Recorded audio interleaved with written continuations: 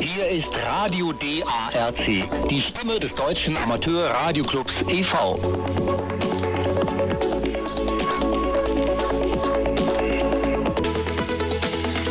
Wir senden unser Hauptprogramm sonntags 11 Uhr Lokalzeit auf 6070 Kilohertz mit einer Sendeleistung von 100 Kilowatt über die Anlagen der ORS in Wien. Zusätzlich werden unsere Sendungen von mehreren Sendepartnern übernommen und auf UKW, per Webstream und als Podcast verbreitet.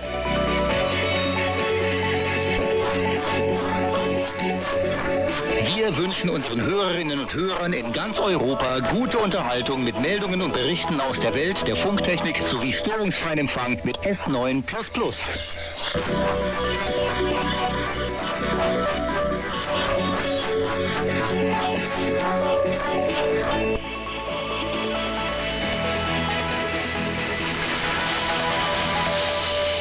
Hallo liebe Funkamateure, liebe DXer und Kurzwellenfreunde, hier ist wieder Radio DARC. Sie hören unser wöchentliches Technikmagazin mit allerlei interessanten Geschichten rund um die Funktechnik. Um die Funktechnik. Hierzu begrüßen wir Sie recht herzlich. Ich bin Cody Farron und darf Sie durch die Sendung führen. Heute ist es die Ausgabe Nummer 414. Sagt Ihnen der Name Hedy Lamar etwas? Viele kennen sie doch als Hollywood-Schauspielerin aus der Zeit des Zweiten Weltkriegs.